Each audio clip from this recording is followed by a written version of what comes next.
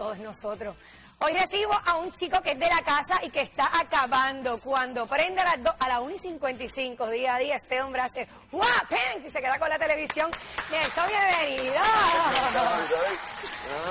Ay, qué bueno que estás aquí saludos, mi gente, conmigo. saludos, saludos, ¿cómo están? Adelante, Nelson.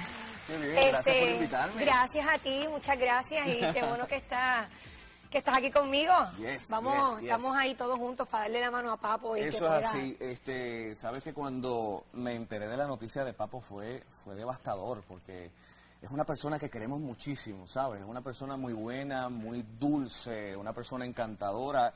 Pero Papo, sabemos que estás viviendo un momento, estás atravesando un momento sumamente difícil, pero quiero que sepas que no estás solo. Eh, los que te quieren, nosotros estamos contigo para darte la mano, para apoyarte y seguir contigo paso a paso, hasta, hasta siempre. Así que ya lo sabes, Papo, para adelante siempre. ¿ok? Eso, eso es así, eso es así. Sé que una de las cosas, Papo me acusa de cachetera. De cachet- Pero es que siempre que estamos ahí por las máquinas de café, él me, él me, mire, me dice rata. Yo no sé por qué me, dice rat. Entonces lo, hace como una versión en inglés, rat. Vente, tómate un café aquí conmigo. Y pues nos sentamos allí y nos tomamos un café a cada rato. Nelson, es de, eh, cuan- desde que llegaste a día a día, pisaste allí fuerte y te ganaste el cariño de la gente. Ay. Marcaste eh, eh, te- muy bien tu espacio. Eh, haces una labor extraordinaria allí. Gracias, gracias. Estoy viviendo una etapa de mi vida bien bonita. De verdad que cuando llegué a, día a día entré muy nervioso también porque no sabía, obviamente es como el primer día de clase que tú dices, Dios mío, no conozco a nadie aquí, ¿qué es esto? ¿Cómo, cómo me irá aquí? Pero la realidad es que trabajo con un grupo encantador eh, que me recibió con los brazos abiertos, un público precioso también que, que nos tiene mucho cariño y nos acompañan todos los días de 2 a 4, lunes a viernes por acá por Telemundo en día a día. Eh, y es un trabajo que me disfruto mucho porque eh, hacemos todo, hacemos comedia, eh, hacemos este, bueno, doy farándula, tú sabes que hablo de los artistas, los Mira, y, precisamente eso, cuando te dicen, porque tú eres un actor de teatro de muchos años, eh, en radio no estás en una emisora de, de vacilón, o sea, estás eh, serio. bastante proper, es bastante proper.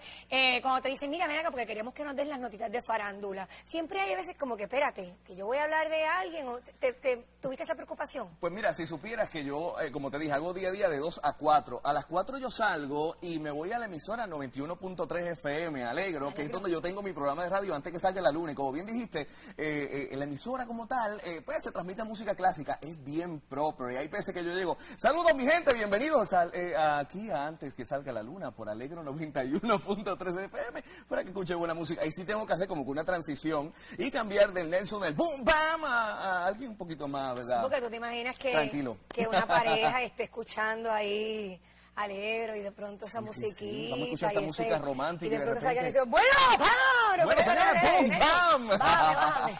Qué bueno. Pero Nelson, ¿y cuándo tú empezaste en, en teatro? Hace mucho... Pues mira, ya hace, bueno, desde los 16 años yo estoy básicamente haciendo eh, teatro profesional que me encanta. Tú sabes que es, es algo bien irónico porque yo jamás en la vida pensé que yo iba a estar haciendo esto. Yo era un niño pero sumamente tímido, tímido. Bueno, bueno. ahí están viendo una de las obras de teatro. Que- que- que Eh, mira qué timidez, mira qué tímido.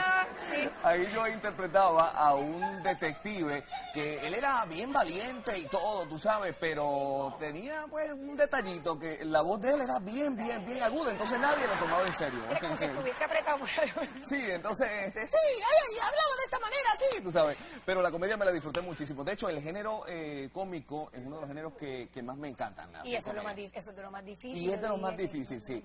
Este, pero Pero he hecho de todo. no, hace tiempo no haces, no haces teatro, ¿verdad? Estás más retiradito. Sí, bueno, eh, la realidad que desde que entré a día a día, pues eh, sí, sí, eh, me falta un poquito de tiempo para hacer teatro, no he querido hacerlo porque, bueno, eh, requiere mucho tiempo, los ensayos, también las funciones, ¿no? Y en día a día, pues tú sabes que es un programa diario de dos horas, es sumamente difícil, todos hacemos muchas labores y me toma eh, bastante tiempo a la vez que también estoy en radio. Pero sí, ya prontito, ya prontito Y, haré una obra de y teatro. los talentos de hoy día son talentos que eh, eh, ayudan eh, en el libreto, en la producción, Ajá, ajá. salimos adelante, o sea Sí, que sí, hay que sí. hay que hacerle todo y dos horas es Y dos es horas duro. es bastante sacrificado. muchacho. Oye, pero me encanta, me Sí, encanta. sí. Hacemos personajes como el trío La La La, también estos personajes de Raymond. Hablando de Raymond y Dama, dos maestrazos, que es una bendición trabajar con ellos. Estás así, mira, mira acá, y cuando te dijeron, ven acá, párate aquí, pon tu cara más sexy, este, y tu pose, vamos a ver, vamos a ver algunas fotitos de esas de las que yo estoy hablando. Esto, tú no eres tímido, ay, ay, ay, qué tímido. No, yo soy bien tímido, soy bien Y tímido. cuando haces esa ¿Cómo? Pero espérate, espérate.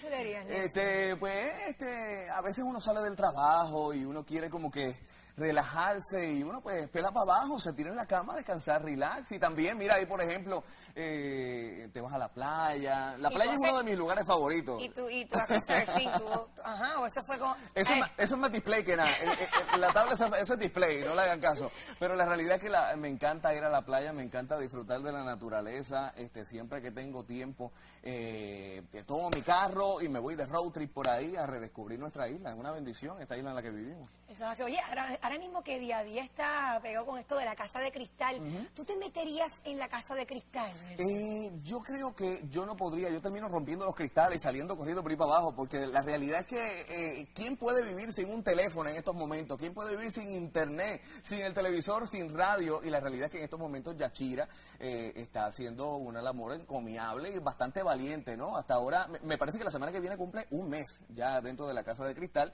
Y, y, oye, no es fácil porque estar dos meses ahí, eh, lejos de tus seres queridos y también de la comunicación, no, tiene, no, no puedes leer periódico, no puedes leer nada, pues en- entonces, pues imagínate. Sí, yo me desesperaría. yo estaría ahí trepando paredes. Horrible, digo, imagínate. trepando paredes por uno salirse de ahí, porque Ahora, hay, que, hay que tener fuerza. hay sí. que ser valiente para estar ahí. Bueno, En eh. es como un pescado. Sí, ahora a ella le ponen ahí también este una bicicleta para hacer ejercicio. Yo creo que yo estaría ahí. A mí me ponen una bicicleta para hacer ejercicio, dos dumbbells y yo creo que estoy tranquilo. ¿En serio? Sí, ¿Más nada no te hace sí, falta? nada más, nada más. Me Ay, Dios mío, pues tú allí. eres, tú eres tan complicado. Nelson, vamos a hablar de la parte dramática en la actuación. Ajá.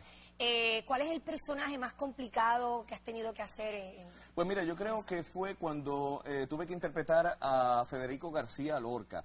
Ya cuando tú interpretas a un personaje, una persona que tan importante, que obviamente existió, pues la responsabilidad que cae sobre tus hombros es mucho mayor, ¿ves? Porque ya la, la- la gente, el público, pues tiene información, ya saben cómo es, eh, ya saben qué labor él hacía, cómo la hacía, y entonces tú tienes que hacer una investigación exhaustiva de esa persona, desde sus comienzos hasta la muerte en el caso de Federico García Lorca, y fue un personaje que me, me pidió mucho. De hecho, yo creo que esa fue hasta la última obra que yo hice, porque de verdad que, que, que salí como que ¡ah! hasta cansado, pero fue un trabajo sumamente gratificante. Fue uno de los personajes más eh, difíciles, pero también más satisfactorios. Ahí ven todo lo que hace este